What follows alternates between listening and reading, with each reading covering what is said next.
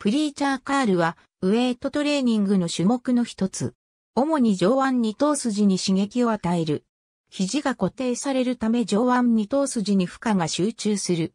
イージーバープリーチャーカールイージーバープリーチャー、カールケーブルプリーチャーカールケーブルプリーチャー、カールプリーチャーカールマシンプリーチャーカールマシン、プリーチャーベンチに腰掛け、アンダーグリップでバーベルを握る。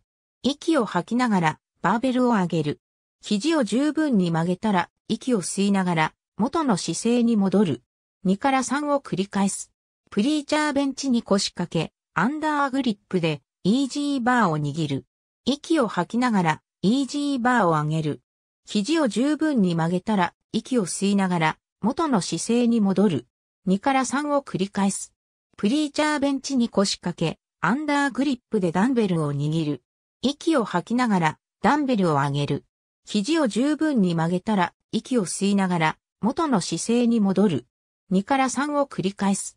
ロープーリーにアタッチメントのカールバーをセットし、プリーチャーベンチに腰掛け、アンダーグリップでハンドルを握る。息を吐きながらハンドルを上げる。肘を十分に曲げたら息を吸いながら元の姿勢に戻る。2から3を繰り返す。片手で行う場合は、ワンハンドルバーを用いる。マシンのシートに腰掛け、アンダーグリップでハンドルを握る。息を吐きながら、ハンドルを上げる。